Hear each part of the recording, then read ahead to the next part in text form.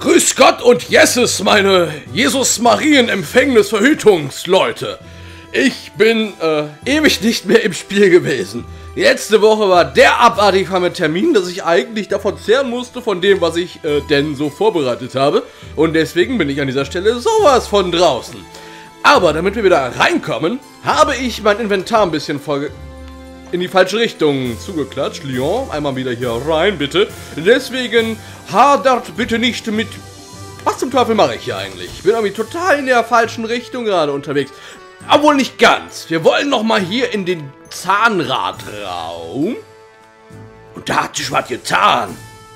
Ah, solch Schönheit, welch ein beruhigender Anblick. Es scheint, als hätten auch die Sindergeräte geliebt. Ja, ja. Ja, das haben sie ganz sicher. P Prinz, seht, der Professor und ich haben es in Gang gesetzt. Das ist ein unglaubliches Gerät. Es ist Jahrhunderte alt, aber es musste nur ein wenig ausgebessert werden, um wieder zu laufen. Und da ist noch mehr. But wait, there's more. Haben wir jetzt einen Riesentransformer? Prinz, kommt hier entlang. Schnell, schnell! Wo? Dieses technische Gerät transportiert Leute nach oben und unten. Das Gerät im Innern des Raumes treibt dieses Gerät hier an. Man muss keine Treppen mehr steigen. Jetzt kann man nach Belieben im Schloss rauf und runter gehen. Wunderbar, nicht? Das konnte ich auch schon vorher. Man kann immer noch viel über die Vorrichtung lernen. Ja, ich muss hier bleiben und weiter forschen. Ja, ja. Sorensen, es ist Zeit zu gehen. Ja, ja, Professor. Okay. Äh, oh, er kann sich durch Türen teleportieren. Verzeiht uns, guter Prinz, er hat auch irgend so ein Beamgerät erfunden. Ich weiß, dass Professor Barbarsch viele Wünsche hat, aber ich bin sicher, er wird eine große Hilfe sein. Also erlaubt ihm bitte, seine Forschungen fortzusetzen. Ähm, du könntest auch hier bleiben. Yay! Fernbeziehungsfreundschaft mit Barbarsch bekommen. Und er hat mehr Dioptrien als Pierre. So, damit wäre das äh, auch abgestüftelt. Jetzt müssen wir nur mal gucken. Also, wir haben ja immer noch ein Problem, weil die Sagiri, Sagiri nicht wieder zurückkommen wollte in meine Truppe. Und die Oboro-Leute... Oh, es ist zumindest jetzt jemand da. Vielen Dank, Prinz, dass ihr mir so ein wunderbares Zimmer zur Verfügung stellt. Äh, dem Rest würde ich ja auch ein wunderbares Zimmer... Wie bitte? Ob ich über den Detektiv und Sagiri und Shigure Bescheid wusste? Ja, natürlich wusste ich das. Ich stamme nur aus einer normalen Kaufmannsfamilie, daher fällt mir es sehr schwer, mir so etwas auch nur vorzustellen. Ich habe dem Detektiv gesagt, dass ich möchte, dass Sagiri und Shigure ein normales Leben führen können. Oh, ist hier nicht nett. Ähm, der Detektiv und die anderen, die sind geschäftlich unterwegs. Lucretia hatte einen Auftrag für sie. Sie sagten irgendwas von Vorbereitungen in Dorat. Scheiße. Diese verdammte Lucretia, da muss ich mal auf die Finger hauen. Natürlich gucken wir mal, dass die falschen Fingernägel dabei nicht abfallen. Aber das kann nicht wahr sein. Ich will Sagiri liebkosen, umgarnen, lieb haben. Damit sie meine Feinde besonders lieb hat. Und das passiert nicht. Oh, hi, Nikea. Äh, wo ist eigentlich Shun Min oder wie die Dame hieß?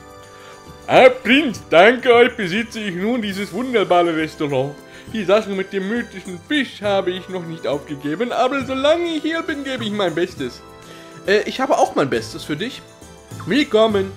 Äh, ich bitte um Verzeihung, Prinz. Ich wünschte, ich könnte euch etwas kochen, aber mir fehlen einige Zutaten. Ich, ich habe was dabei. Willkommen. Ich bitte um eine Zutaten. Wo muss ich die Zutaten abgeben? Bestimmt nicht in deinen Magen, Frau. Flur zum Sonderermittler? Was war das? Ähm. Achso, zum Sonderzimmer. Dann gucken wir mal, was dieses Sonderzimmer denn so sein könnte. Da will ich jetzt mal reingucken. Aber ich glaube, das ist nur dieser Verbindungsgang, oder? Das ist der Knast. Flur zum Turm? Äh. Ich bin wieder. Äh, was soll's denn dieser blablabla bla bla. Ich habe keine Ahnung, was ich gerade sage. Okay. Also, das Sonderzimmer ist ein Knast, offensichtlich. Vielleicht lernen, können wir dort Killy irgendwann mal reinstecken, weil den haben wir ja auch im Knast irgendwie mal kennengelernt. Ich habe, ich, zumindest dachte ich, dass ich ein paar Zutaten dabei habe, aber vielleicht habe ich doch noch keine Zutaten dabei, um sie dir irgendwie in die Hand zu drücken. Doch, bevor wir uns jetzt hier, mal gucken, ist das... Nein, das ist irgendwie ein Raum, der irgendwo anders hinführt. Ah, der führt hier hin. Jetzt muss ich mal gucken. Es gab hier noch irgendwo... Zu viele Räume. Irgendwo gab es noch die Bibliothek. Ah, das ist schon wieder der Raum. Ja, warum hast du nicht gesagt, dass das draußen nach draußen geht? So, das ist die Karte. Das ist der Admiral. Ding Dong. Das ist die Bibliothek. Wundervoll. Haben wir es doch noch gefunden. Hi, Alakazam. Ähm, ah, das Buch, das Sie mir gebracht haben, ist genau das, was ich wollte. Altes Buch 1 übergeben. Altes Buch 2 übergeben. 5, weil 3 und 4 haben wir nicht. 7 und 6 fehlt auch noch. Und 8. Und was? Oh Gott! Äh, die Schöpfungsgeschichte. Am Anfang war nur Dunkelheit. Und niemand konnte was sehen. Auf Ende. Für eine lange, lange Zeit herrschte die Dunkelheit ganz allein in völliger Einsamkeit. Aus Kummer und Verzweiflung vergoss die Dunkelheit eine Träne. Aus der Träne wurden zwei Brüder geboren, Schwert und Schild. Schwert sagte, er könne durch alles schneiden, was existiert. Schild sagte, nichts könne ihn durchdringen. So kam es zu einem Kampf, einem wahrlich schlimmen Kampf, der sieben Tage und sieben Nächte währte. Am Ende zerbrach Schwert Schild und Schild zerschlug Schwert. Bruchstücke von Schwert regneten herab und bildeten den Himmel. Bruchstücke von Schild regneten herab und bildeten die Erde. Aus den Funken entstanden die Sterne. Die 27 Juwelen, die Schild, Schwert und Schild schmückten, wurden die 27 wahren Runen. Das war der Anfang der Welt, wie wir sie kennen. Die Sonnenrune und die Nachtrune. Vor langer, langer Zeit kamen die Sonnenrune und die Nachtrune in die Welt eng miteinander verbunden. Zwischen ihnen war ein starkes Band, der eine über das Licht gebot, während die andere die Dunkelheit beherrschte. Doch bald ärgerte sich die Nachtrune über den strahlenden Glanz der Sonnenrune. Eines Tages hielt es die Sonnennachtrune nicht mehr aus. Verwandelte sich in ein Schwert, durchtrennte das Band zur Sonnenrune und ging allein ihrer Wege. Aus den zurückgelassenen Überresten des Bandes wurden die Morgenrotrune und die Zwielichtrune geboren. Seit die Sonnenrune ihre andere Hälfte verloren hatte, blieben der Legende nach diese beiden neuen Runen als treue Wächter an ihrer Seite. Hm. Der Machtkampf der königlichen Familie. Eine Tragödie begann unter der Herrschaft der Königin Olaseta in den späten 210er Jahren der neuen Zeitrechnung.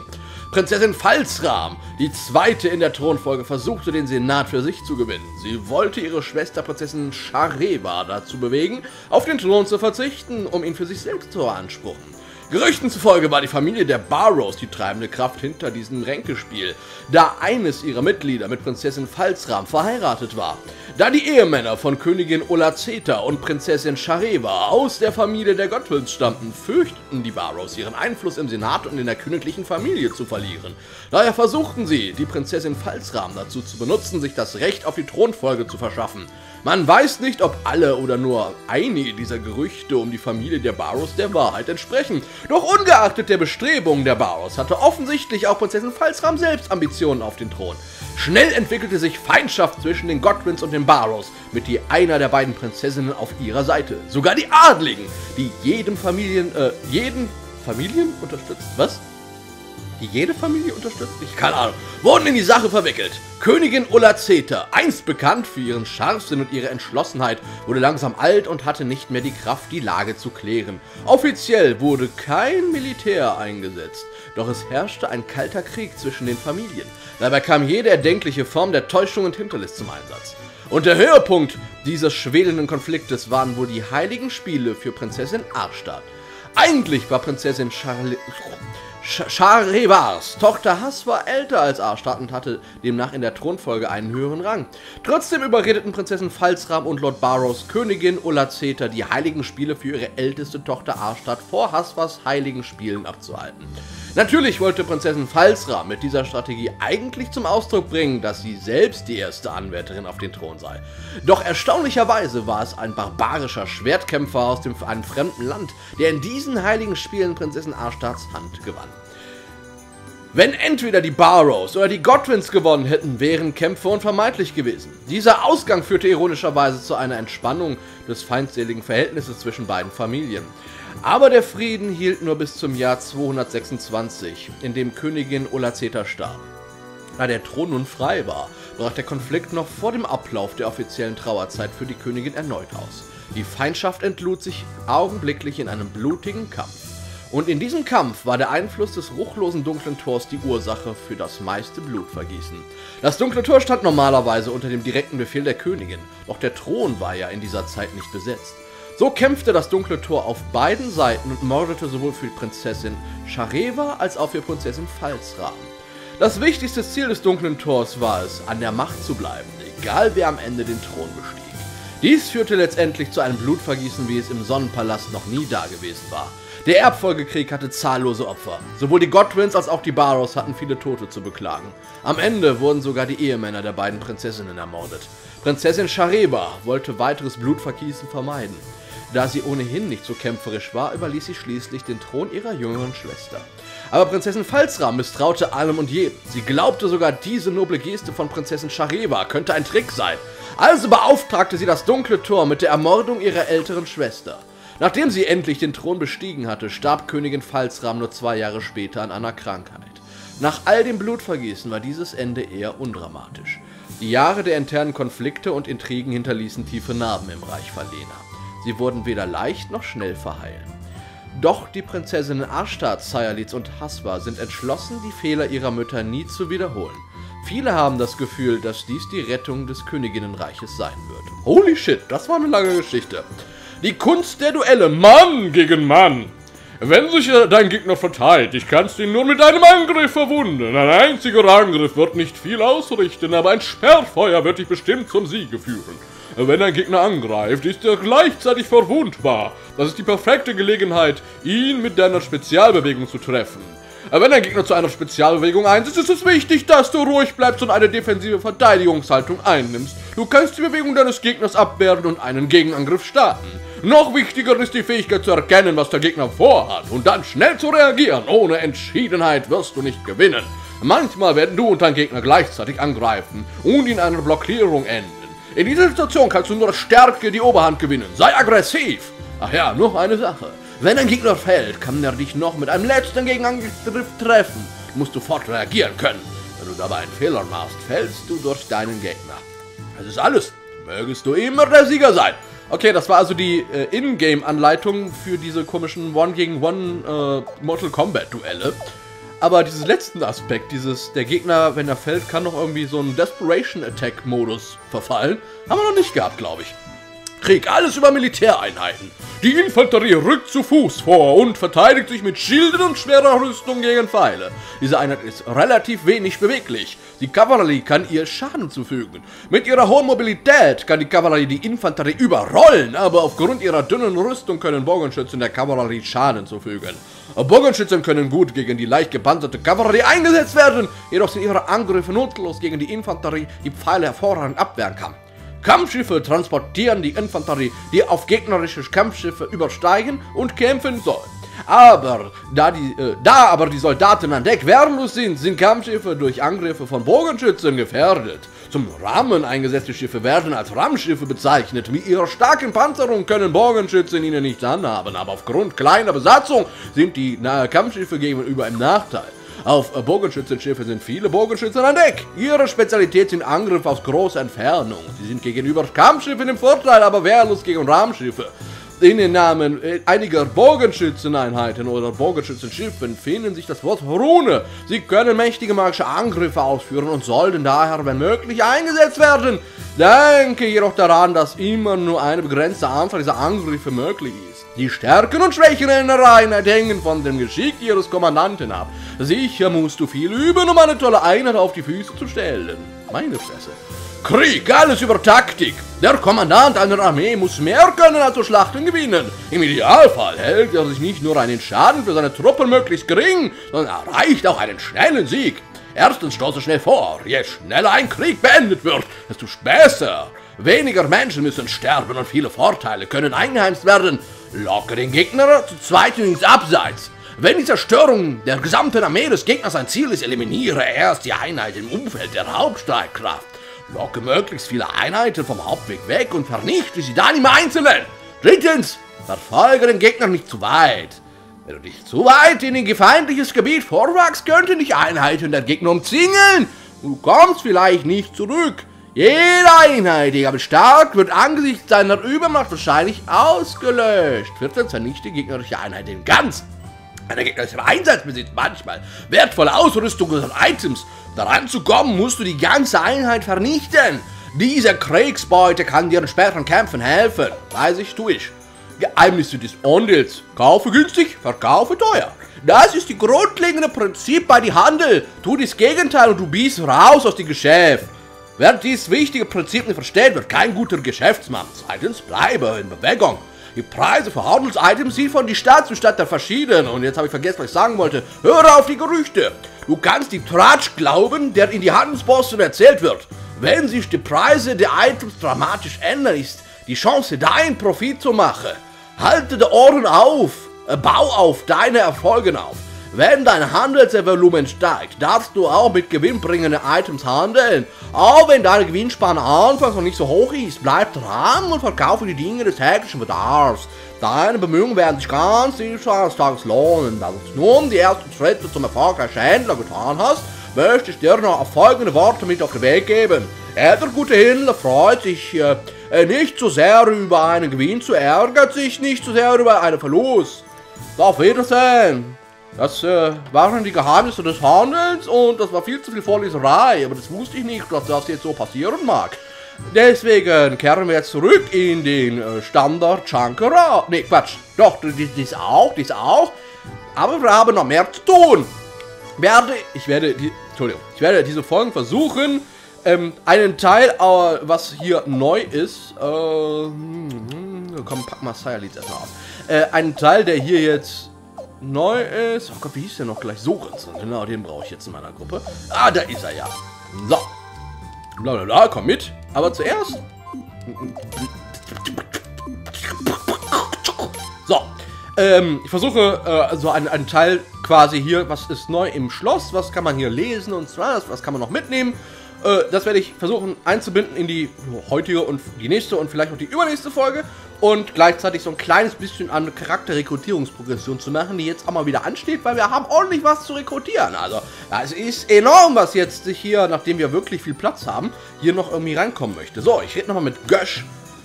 Herr Prinz, wir sollten hier ein Gemüsebeet anlegen. Dieses Schloss könnte ein wenig Grün vertragen. Oh, damals in Lord Lake habe ich Gemüse angebaut. Aber als das vor zwei Jahren alles verdorrt ist, hat es mir gereicht. So kein Grund zur Sorge. Ich bin auf euch, ich bin auf euch oder die Königin nicht mehr böse. Ich werde hier mal richtig Hand anlegen. Wenn ihr mir etwas Saatgut oder Setzlinge bringt, lege ich sofort los. Deswegen habe ich alle mein Saatgut und all meine Setzlinge. Oh, ihr habt eine Pflanze für mich. Ich werde sie sofort einpflanzen mitgebracht. Eine Tomatenpflanze, eine Zwiebelpflanze und eine Kartoffelpflanze. Tomaten, aktueller Anbau. So, ich habe gedacht, das ist Beton hier, aber offensichtlich ist es äh, tolles Zeug. So, das war jetzt erstmal das, was ich hier nicht machen wollte. Das, was ich hier machen wollte. So Zeugs, was ich im Inventar hatte, noch irgendwie an den Mann, an die Frau oder was auch immer geben. Und jetzt werde ich mich nach Estrees teleportieren und dann sehen wir uns gleich in Estrees wieder. Bis gleich, meine Schnucki-Putzis. So, da sind wir auch schon in S-Trees und wir wollen mal gucken gehen, äh, ob sich jetzt irgendwelche fiese Leute in die leerstehende Wohnung von Dr. Barbage irgendwie eingenistet haben, beziehungsweise in seiner Werkstatt. Dort wohnt er aber wahrscheinlich auch. Tatsächlich ist es jemand da. Äh, Lou, was ist los? Deswegen ist Sorensen dabei. ach. Was soll ich nur tun? Ich habe das Teil verloren. Ein Teil? Himmel, Lou, mach dir keine Sorgen darum. Es gibt tausend Teile hier und ganz nebenbei. Was? Das Teil? Das Teil aus der Drehbrücke? Natürlich, Blödmann. Warum sollte ich sonst so schlecht drauf sein? Schrecklich. Der Professor muss einen ganzen Monat daran arbeiten, um es neu herzustellen. Ich weiß, es muss hier irgendwo sein, aber es versteckt sich vor mir. Das wäre nicht passiert, wenn du ein bisschen besser aufräumen würdest. Aber das passt nicht zu mir. Ich kann nichts dafür, so bin ich eben. Ich helfe dir beim Suchen. Viel Glück bei der Suche. Ich helfe dir beim Suchen. Was? Wirklich? Wahnsinn, Prinz, danke. Du musst nur alle Ecken und Winkel in diesem Raum absuchen. Ich weiß genau, dass es hier irgendwo ist. Ähm, ich weiß genau, wo es ist. Ich habe dafür so eine äh, kleine Technik. Äh, Moment, da liegt doch was. Ein großes Teil. Da ist es doch. Prinz, hast du es gefunden? Bestimmt ist es das. Das war genau riesengroß. Moment. Jo, das ist dieses Riesenteil. Da ist es. Da ist das richtige Teil. Oh, danke, vielen Dank. Ich liebe dich, Prinz. Du bist der Beste. Ich weiß, als Dank trete ich der Polot Panderico Armee bei. Und da sind sie dann auch schon, der Geräteprofessor und der Assistent Nummer 1. Ich darf noch beitreten, oder? Freundschaft! Na klar, Fräulein. Oh ja. Bring mich zu deinem Schloss, Prinz. Äh, du darfst auch gerne alleine zum Schloss gehen. In, na gut, in Ordnung. Ich habe noch Platz frei in der, in der Gruppe, dann nehme ich sie mit. Und pack mir Watte in die Ohren. Für, oh Gott, die ist ja Stufe 5. Aber sie ist erst fünf Stufen alt. Wie soll sie das überleben? Nun denn, wir haben wieder was Neues dazu. Das ging ja flott und schnell und toll. Und, hm, hm, eigentlich wollte ich ja noch irgendwelche Zeitungsartikel lesen heute, aber da ich ja die Bücher alle durchgelesen habe, verschiebe ich das dann, glaube ich, doch noch irgendwie auf, auf die nächste Folge. Dann kann ich noch etwas anderes probieren zu erledigen. Und dazu teleportieren wir uns. Ach ja, stimmt. Teleportieren wir uns mit dem wichtigen Item zurück zum Schloss der Panvil Lord Panvil Armee und werden die Party noch mal ein klitzekleines bisschen neu aufstellen. Deswegen frage ich mich, weswegen ich mir überhaupt die, ähm, wie heißt es, die Mühe gemacht habe, meine Party mal gescheit aufzustellen, liebe Loserina. Also, ähm, natürlich die Frage, wer, wer, wie, wo, was. Ähm, gut, ich packe, oh Gott, wo sind die M's? Die M und M's. Maroon nehme ich mit. Genau. Biber Nummer 1. Ja, ich bin dabei. Das ist doch toll. Und den anderen Biber auch. Maroon. Nehmen wir Maroon. Sonst hatten wir, glaube ich, noch keine Biber, oder? Außer Fu Fualu Fualu, oder wie der hieß. Ist der aber der Gruppe beigetreten damals noch? Das weiß ich gerade gar nicht mehr. Sonst würde der wahrscheinlich hier stehen, aber das steht er nicht. Okay, dann wird es Maroon sein. Jawohl, ich bin dabei. So, gut, gut, gut. Eine gute Reise. Wir werden jetzt, ich hoffe, dass das soweit ausreichenderweise ist, ähm, weil ich das noch nicht, fuck, noch nicht ausprobiert habe, nach Yashuna gehen. Vielleicht erinnert euch dran, dieses tolle idyllische Dorf, was jetzt Probleme hat mit dem ganzen Tourismuskrams, weil die die heißen Quellen am Versiegen sind. Das ist ja doof, weil es gibt irgendwie noch. Irgendwann soll es ja noch Badeszenen in diesem Spiel geben. Mit meinen weiblichen Hauptrollencharakteren. Aber das ist das Gasthaus zur Quelle. Ich glaube, das war's nett. Jetzt muss ich aber erstmal gucken. Also, wir gehen erst. Ich glaube, das war hier ja, dieses Etablissement. Ja, genau. Das Gasthaus der drei Farben. Ich glaube, hier war auch der Typ, der uns den, äh, das Buch gegeben hat, das erste. Der verkleidet war als Urim. Oh, noch ein Geist? Tut mir leid, es gibt kein heißes Wasser. Wir haben heute geschlossen. Oh no! Schwester. Oh, Maroon.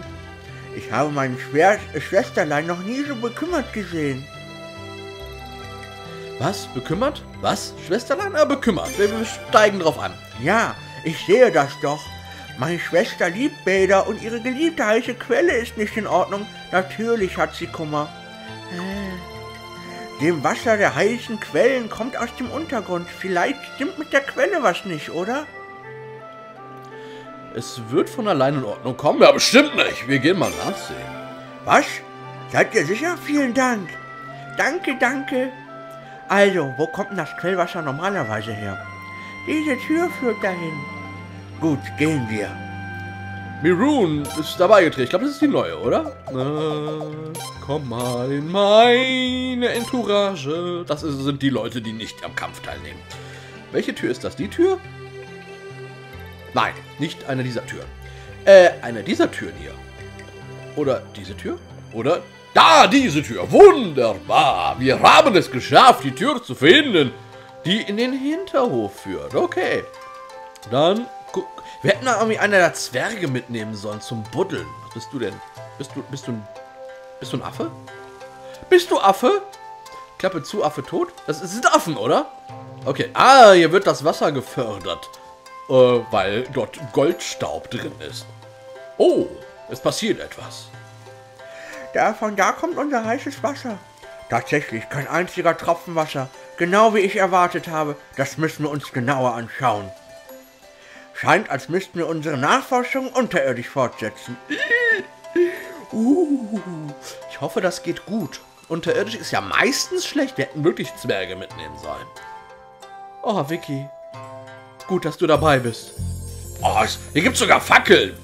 Fang mal an. Äh, okay, da ist eine Treppe, die nach oben führt. Ansonsten scheint hier sonst sich noch nichts an Geheimnissen hier im Verborgenen zu halten. Es geht zielstrebig. Wie? Was ist das für ein Dampf? Oh, das ist Deo. Oh, ist das heißes Wasser? Hey, du da, bleib lieber stehen. Was ist hier passiert? Nun, ein kleiner Unfall könnte man sagen. Wir haben gegraben, um einen Tunnel zu erweitern und haben dabei die Ader für die heißen Quellen durchbrochen. Was? Ah, Deshalb ist die Wasserzufuhr unterbrochen. Oh, du meine Güte. Wie heißt das, ihr seid vom Gasthaus zur Quelle in Yashuna? Ah ja, ich hörte von dem Biber, der für das Gasthaus arbeitet. Es tut uns schrecklich leid, das wollten wir nicht. Bitte nehmt unsere Entschuldigung an. Wir schwören bei unserer Ehre, die heißen Quellen zu reparieren. Aber nicht jetzt sofort, einverstanden? Wie lange wird es denn dauern? Gute Frage. Wir haben da ganz schön was angerichtet. Ich würde sagen, länger als einen Monat. Ich verstehe. Was sollen wir tun, Schwester? Also, ähm. Schwester, guck nicht so böse. Sie guckt blind. Böse? Für mich sieht die nicht böse aus. Ich weiß, Schwester, komm zum Schloss Morgenrot. Ich werde dir dort ein Bad bauen und es wird deine Arbeit sein, es zu betreuen. Das geht doch in Ordnung, oder, Prinz?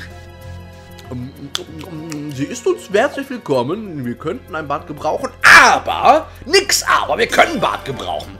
Vielen Dank. Haben wir ein Glück, nicht wahr, Schwesterlein? Oh, hier sind Sie so knuffig. Vielen Dank, ich werde mein Bestes tun. Freundschaft! Rune Number 5 ist dabei. Puh, meine Schwester lächelt wieder, ich bin so froh. Äh, Sie hat nur ihre Zähne anders angewinkelt. Die hat doch ganze Zeit gelächelt, oder? Na klar! Okay. Ja, die zwei Zwerge, die sind schon, die sind schon aber besonders. Das ist jetzt so Stammtisch-Zwerge, glaube ich. Und sonst irgendwas hier, was wir irgendwie mitnehmen können? Irgendwas Nettes? Irgendwie ein Schatz? Na gut. Da haben wir Frau Bieber ist ein Schatz. Oh, hier gibt's sogar Kämpfe. Was haben wir denn hier denn eingeweiht? Oh Gott. Oh mein Gott, es ist der weibliche Kefka. Ähm. Okay, du tötest Tarantula, Tarantula, Narikwa. Ist das, ist, kann man das rekrutieren oder nicht? Oder kann man das essen? Äh, wir machen einen Gemeinschaftsangriff auf dich, Mrs. Vicky. Hat das Inferno dabei. Ja komm, 700 Schaden für alle Feinde muss reichen. Äh, Mr. Sorensen hat die Apparatrune. Schaden 0,4 für alle Feinde. Ja, ja, komm, machen wir das. Und Bernadette hat die Wasserflutrune. Blockiert alle Magieanwendungen. Nein, macht einen Verbinden deiner ein Verbinden wieder vollständig gesund. Hä? Bringt allen Verbinden 300 TP zurück. Hm? Eisodem. Eisodem hört sich gut an. Ja, das war mächtig Damage. Aber gucken wir mal, ob unsere beiden Hauptprügel drauf haben. Ah, ähnlich gutes Hink. Oh Gott, halten die was auf. Ich zeige auf dich. Autsch. Plus. Plus was? Parade. Wow, halten die, die halten was aus. Gut, dass der Richard so gut ist und alles abwehrt, was vorne rumläuft. Ne? Bäh. Könnt ihr mal was töten? Das wäre toll, wenn ihr nicht so viele Lebenspunkte hätten. Wow, die Bündelung der Macht des Feuers versenkt die künstliche Sonne. Die Sonne, die Sonne tut weh. Oh Jemine. Wir sterben. Viel zu langsam. Bong! Zwei. Okay, hoffen wir mal. Wir haben gewonnen. Gewonnen. Ich habe das Gefühl, ich bin hier ein bisschen zu früh hingelaufen. Bei den ganzen Level-Ups, die ich gerade kriege. Okay, Sorasen zählt nicht, aber ich hätte bei Sorasen tatsächlich ein bisschen mehr erwartet. Ähm, gut, hoffen wir mal, dass wir hier noch lebend rauskommen aus dieser Höhle. Aber Level. Oh Gott, das ist Mr. Re Giant Crabman! And the Crab. Nein, ich will doch nicht abwehren, ich deppert. So, Schwalbenrune. Ein Königsdings. Ähm, Gemeinschaftsangriff auf, was ist Königsmantik? Okay, ich glaube, da ich jetzt nicht allzu viel Weg hier durchlaufen muss, probieren wir das mal so. Äh, du kannst hier gut heilen. Also Bernadette soll mit die beste Heilung, Heilerin. Was war das hier? Blockiert alle Mann. Ne, das bringt glaube ich nichts. Okay. Lieber mal eine Gruppenheilung haben. Wer weiß, was dieses, was, was Krabby hier macht. Wow! Kann eigentlich mit einer Rune auch da Mehrfachtreffer geschehen? Oder ist das eher nicht der Fall? Ja gut, zum Glück. Okay. Eisenfäuste, Feuersiegelstück und Krabbe. Und 21.000 Potschi Potsch. Das hier, also hier kann man, glaube ich, gut Geld machen, was auch zwingend notwendig ist, nachdem meine Geldbeutel so gebeutelt sind. Oder entbeutelt sind, also leer sind. Nicht viel mit rumschleppen ich muss. So, da jetzt hier wieder feine, tolle, erholsame Musik ist, wie aus dem China-Restaurant, glaube ich mal, dass mich jetzt hier keine wilden Chinesen und ihre Essensvorräte dann angreifen werden. Gut, ähm, ich bin mal so frei und denke mir dabei, ich teleportiere mich zurück und für diejenigen, die sich nicht für die äh, Zeitungsartikel interessieren, äh, darf ich dann jetzt schon verabschieden. Ansonsten der Rest darf gerne dabei bleiben, weil ich jetzt noch den einen oder anderen dann doch noch vorlesen werde, weil ich denke, das ist ein ganz tolles Ding zum Abschluss einer Folge dann noch. Deswegen sehen wir uns eventuell dann jetzt gleich noch im Schloss äh, Morgenrot wieder. Bis gleich. Da bin ich auch schon. Äh, oder auch nicht? Wo zum Teufel war jetzt nochmal das Dingen? Shit. Haha, ich habe es dann doch noch geschafft. So, wir hatten 1, also 0, 1, 2 und der, ein, ich glaube bei 5 wären wir jetzt, oder? Gucken wir mal. Rainwall in Feindeshand gefallen. Parallel zum Angriff auf Biberburg erstürmte die Armee der Godwins Rainwall übernahm ohne großen Widerstand die Kontrolle. Da Lord Barrows sich einst mit Armes verschworen hatte, um Verlene aufzuteilen, hatte die Stadtbevölkerung nur wenig Mitleid für ihn übrig. Für viele war es eine gerechte Strafe. Oh, das war aber kurz. Lyon kanzelt Banditenprinzen ab. Wie zu erfahren war, ließ Lyon, die für ihr sanftes Wesen bekannte Leibwache des Prinzen, bei der Ergreifung des Banditenprinzen ihrer Wut auf Roy, der sich als seine Hoheit ausgegeben hatte, freien Lauf. Lyon macht ihm offenbar unmissverständlich klar, dass er seine Taten bereuen müsse. Es wird gemunkelt, dass diese Aussprache mit Lyon der Grund dafür war, dass Roy seine Karriere als Bandit aufgab. Angeblich brachte Roy das Fass zum Überlaufen, weil er Lyon hartnäckig Süße und seine königliche Hoheit Feigling nannte. Versuche, Interviews mit den Beteiligten zu führen, waren leider nicht erfolgreich. Bitte keine Fragen zu diesem Thema. Es ist sehr unangenehm, so Lyon. Roy zeigte sich noch weniger entgegenkommend. Er schnaubte nur und brummte im Weggehen so etwas wie bescheuerte Presse. Okay, das ist glaube ich das einzige Mal, dass Leon derartig aus der Haut fährt, was? Porträt der Gegner, Salom Barrows. Diese Folge beschäftigt sich mit den Taten von Salom Barrows, dem skrupellosen Oberhaupt der Familie Barrows. Beim Fall von Rainbold war Lord Barrows gezwungen, sich den Godwins, seinen langjährigen Feinden, zu ergeben. Die Öffentlichkeit seiner ständigen, selbstsüchtigen Schachzüge müde, zeigte jedoch kein Mitgefühl. Immerhin war es Lord Barrows, der Prinzessin Falsram anstiftete, den Thron zu beanspruchen, obwohl sie nur die zweite in der Thronfolge war, was letztendlich den Falsram-Sarevar-Konflikt entfachte. Und es war auch, er war es auch, der den Dammbau vorantrieb, wodurch der Samen für den Aufstand in Lord Lake gelegt wurde. Lord Barrows ließ auch die Morgenrotrune verschwinden und verbündete sich mit dem Königreich Neuarmes. Zwar ging es ihm darum, den Frieden zu bewahren, indem er den Aufstieg der radikalen Godwins verhinderte, aber ein Mann, der zur Erreichung dieses Zieles Verlena verkauft hätte, ist eine Schande für unser Land. Jetzt gerade bin ich echt froh, dass ich diese Ausgabe erst heute vorgelesen habe, weil ich zufällig das Buch über diese Falswa Sareva oder wie die hießen, äh, Problematik dann auch noch vorlesen durfte. Godwins berei bereiten Lymsleas Krönung vor. Wie aus zuverlässigen Quellen zu erfahren war, treibt die Godwin-Fraktion die Vorbereitungen für die Krönung von Prinzessin Limslea voran, damit die Zeremonie stattfinden kann, sobald die Trauerzeit für die verstorbene Königin Arstad vorbei ist. Nach einer Reihe unrühmlicher Niederlagen der Godwins gegen seine königliche Hoheit scheint es wahrscheinlich, dass sie versuchen werden, den Prinzen politisch ins Abseits zu drängen, falls sie ihn militärisch nicht besiegen können. Ich bitte Sie, da erübrigt sich doch jeder Kommentar, so ein Sprecher der Lord Panvillerico-Armee. Obwohl die Truppen des Prinzen Gleichgültigkeit zur Schau tragen, besteht doch kaum ein Zweifel, dass im Verborgenen Pläne geschmiedet werden, wie diese Krönung verhindert werden kann. Laut einer inoffiziellen Umfrage der Morgenpost haben die Godwins nur wenig Rückhalt in der einfachen Bevölkerung. Die Godwins haben uns schon eine Königin genommen, so ein Städter, der anonym bleiben möchte. Wollen sie denn den Thron durch Einsetzen ihrer eigenen Marionettenherrscherin weiter besudeln? Leider hat es dann doch nicht geklappt. Godwin-Krönung, Staatsakt. Der Termin, der, äh, der, äh, ah, der Termin von Prinzessin Lymslayas Krönung rückt näher. Und es war zu vernehmen, dass Vertreter aller umliegenden Länder eingeladen wurden. Zweifellos soll die Anwesenheit von internationalen Delegierten bei der Zeremonie dazu dienen, die Rechtmäßigkeit des fragwürdigen Regimes zu untermauern. Eingeladen sind unter anderem die Föderation der Inselnationen, das Königreich Neuarmes, das Scharlachmondreich und das Herzogtum Gaien. Für Empörung sorgte, dass sogar Nagarea eingeladen wurde. Seit der Invasion in Falena vor langer Zeit gab es keine diplomatischen Beziehungen mehr zu dieser gewalttätigen Theokratie. Obwohl Gerüchte über die Rechtmäßigkeit der Krönung sicherlich überall in Umlauf sind, wird keines der geladenen Länder Aufsehen erregen wollen, indem es die Einladung ausschlägt. Wie zu vernehmen war, wird damit gerechnet, dass alle geladenen Länder die Form wahren und Vertreter zur Zeremonie entsenden. Bäh. Porträt der Gegner, Giselle Godwin.